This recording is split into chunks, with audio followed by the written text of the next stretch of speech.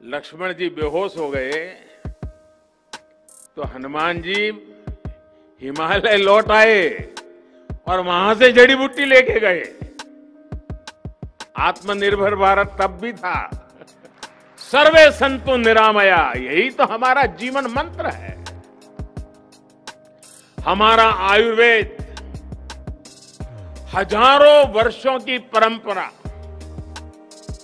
हज़ारों वर्षों की तपस्या का प्रतीक है। और हम तो रामायण से जो सुनते आए हैं। लक्ष्मण जी बेहोश हो गए। तो हनुमान जी हिमालय लौट आए और वहाँ से जड़ी बूटी लेके गए। आत्मनिर्भर भारत तब भी था।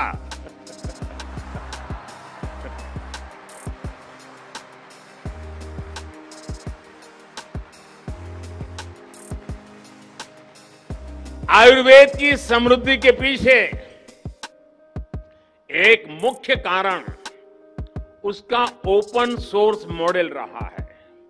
आज डिजिटल वर्ल्ड में ओपन सोर्स की बड़ी चर्चा होती है और कुछ लोग ये मानते हैं, ये इन्हीं की खोज है।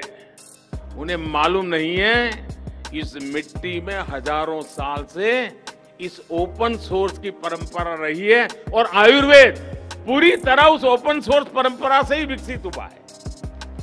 जिस युग में जिसको लगा, जिसने पाया, जोड़ता गया। यानी एक प्रकार से आयुर्वेद विकास की मूवमेंट हज़ारों साल से चल रही है। नई नई चीज़ें जुड़ती गई हैं, बंधन नहीं है। नए विचारों का उसमें स्वागत होता है।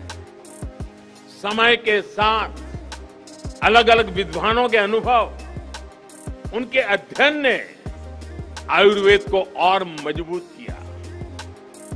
आज के समय में भी हमें अपने पूर्वजों से सीख लेते हुए इसी इंटेलेक्चुअल ओपननेस की भावना से काम करना होगा।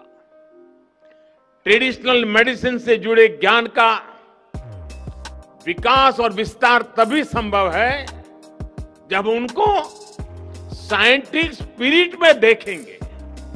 उन्हें देश काल परिस्थिति के अनुसार ढालेंगे।